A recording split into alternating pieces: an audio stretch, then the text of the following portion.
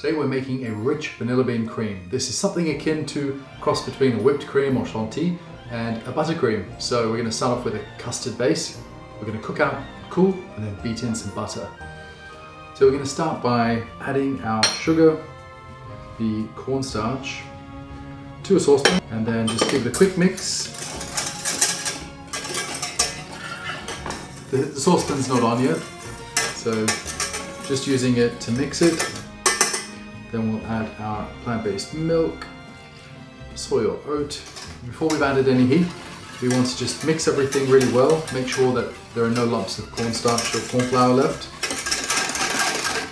So the thing is, as soon as you start heating up the milk, it's hot and you add the corn flour, you get lumps, so you really want to make sure it's nicely distributed.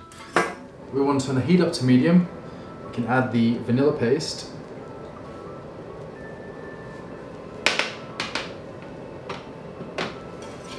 and stir this really well.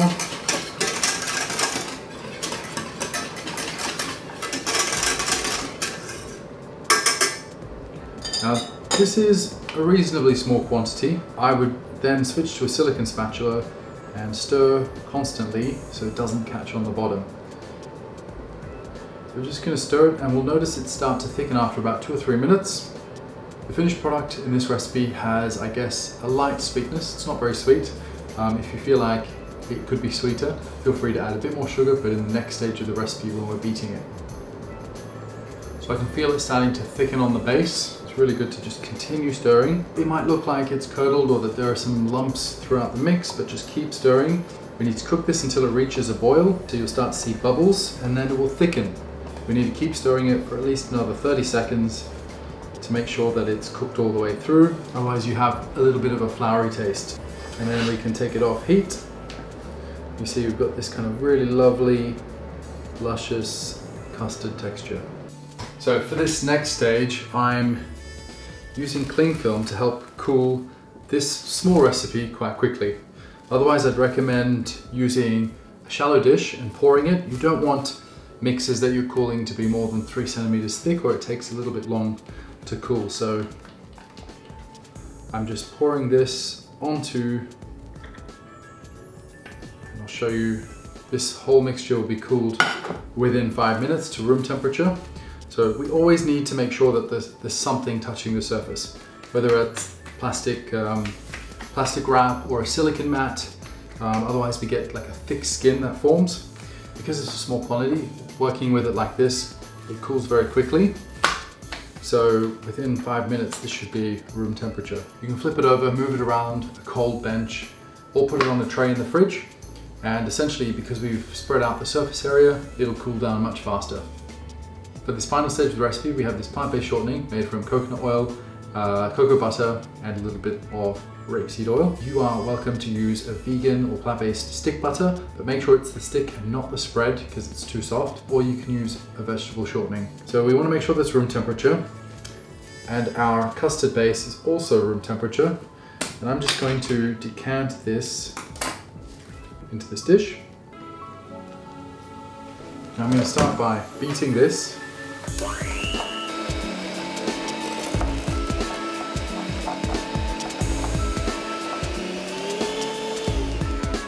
beat this until it's soft and fluffy. If it's not soft, it's probably a bit too cold, so maybe just zap it in the microwave for five or 10 seconds.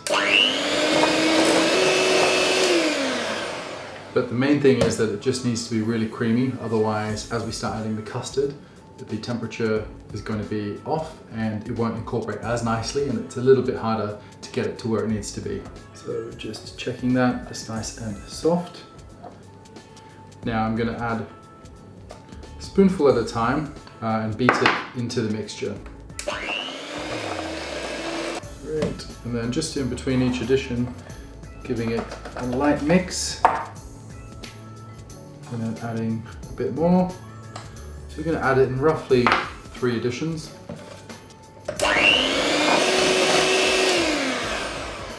Quick scrape down. You can see it's got this really kind of luscious, buttercreamy texture.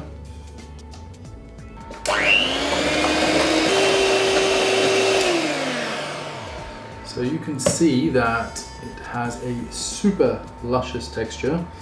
you can do this whole mixing process with a stand mixer as well, but I probably wouldn't attempt it by hand.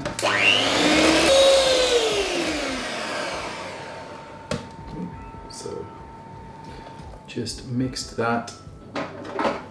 Just checking the temperature. It's around 25 degrees Celsius. Thing is, if your mixture is too cold, the butter um, can have a tendency to not aerate the way that it needs to, and so you end up with what looks like, I guess, a split or curdled texture. And if that happens, you just need to put your bowl into a, a larger bowl or a sink with some uh, hot water or over a saucepan, just a few seconds at a time, just add a little bit of heat and then continue beating. Or you take a little portion out, put it into a small bowl and microwave it for 20 odd seconds, just so it's warm, and then you can add it back in. And this just adds a little bit of heat into the mixture so that you can get the best possible creamy texture. If however your mixture is too hot, your mix, your finished mix will be too soft and not hold its shape. If that happens, put it in the fridge for 10 minutes or so at a time to bring the temperature down and then you can beat it up again. But I would say the best method is make sure that you're using room temperature shortening or butter and that your custard is also room temperature. It's better to be 25 degrees Celsius so that it whips and you end up with a really luscious cream.